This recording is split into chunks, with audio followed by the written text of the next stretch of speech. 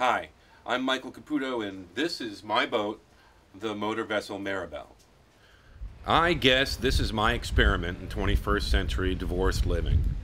Named for my daughter, the Maribel is a 40-foot tug trawler built by Gozzard Yachts in 1984. I restored and upgraded this boat to enjoy living and working on the water while having a relatively low environmental impact. I started out by rescuing a 24 year old boat that had been sitting in a dry dock for years. This saved the tens of thousands of gallons of petroleum and petroleum products needed to build a new large fiberglass hull. The Maribel is designed to look like a 1930s river tug, with windows all around for maximum ventilation. Most modern yachts this size are designed with few opening windows, so owners are constantly running their AC which is powered by a diesel or gas guzzling, carbon belching generator. Of course, I have a 7.5 kilowatt generator, but I rarely ever use it. Then I had the boat refitted with a custom high efficiency refrigerator freezer system that runs off the batteries. The compartments open from the top, so very little cold air escapes when they're open. There is as much space as a small home refrigerator, and the compressors are run by Frigoboat variable speed controllers. This is the latest technology and uses very little electricity to keep things cold. But I guess I'm proudest of the four 130 watt solar panels installed on the top deck. With this solar system, I am able to capture the energy of the sun and store it in a bank of eight deep cycle batteries. Hooked up to the batteries is a 3000 watt inverter, which converts the DC solar power to the same alternating current you get from your 110 plug at home. This system is so efficient that nowadays, the only time I fire up the generator is to make sure that it still works.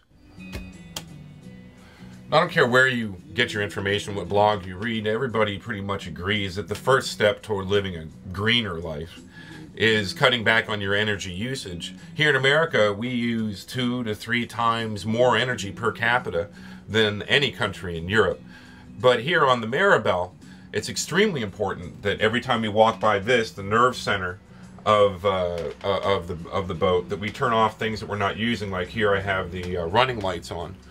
Uh, at the end of the day, it's not a choice on a boat; it's a necessity. But here, where we're trying to uh, run totally on solar when we're, when we're at anchor. Uh, we only have so much battery power, so the less you use, the longer you'll be able to listen to music or do whatever you need. With this setup, I can live and work on the hook as long as I keep conserving and the sun keeps shining. And that's pretty much forever here in South Florida. Another challenge is ice. Freezing water eats up energy, and there's no ice maker as efficient as my new freezer.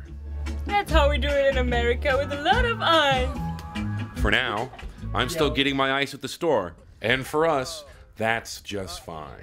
And no account of the Maribel would be complete without mentioning the new holding tank system, which stores our solid waste until it can be pumped out into the municipal sewer system. Unfortunately, I have no control over what happens to it after I pump out. Sometimes it really doesn't make sense to be so careful about marine sewage when Miami-Dade County just turns around and pumps it right out to the Atlantic Ocean anyway. Greening up the Maribel cost me plenty of green, more than most boaters could or would afford. Frankly, I don't recommend the expense. But I live aboard and work here all day long, so for me this was a lifestyle decision. I'm looking for more ways to cut back my carbon footprint on the Maribel, including converting her to biodiesel fuel.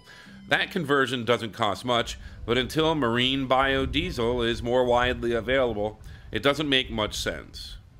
According to the experts, more solar energy falls to the Earth in one day than all of us on the entire planet could ever use in 27 years. Here on Maribel, we're just grabbing a little bit of it and putting it to good use. For Reasonable Shade of Green, I'm Michael Caputo.